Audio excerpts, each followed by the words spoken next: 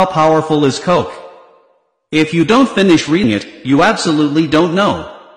1. Spray white vinegar and Coke on the glass to make it clean and bright. 2. Eliminate all the black and mildew caused by Coke and laundry detergent. 3. Add detergent to cola, shake it and spray it evenly on the greasy dirt in the kitchen.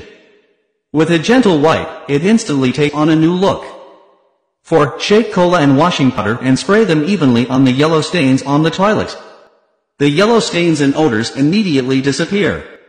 5. If your hair accidentally gets caught in chewing gum, take a small bowl and pour in coke gum, which can be easily removed.